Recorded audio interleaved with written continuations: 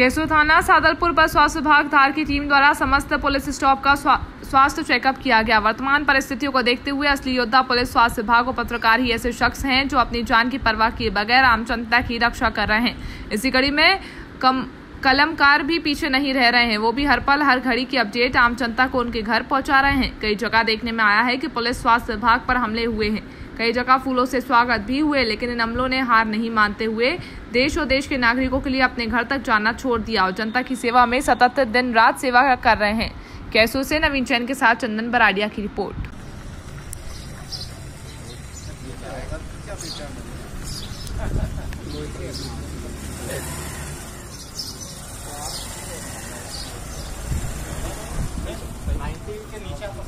이거 이건 가지 않은 게 사회 분배.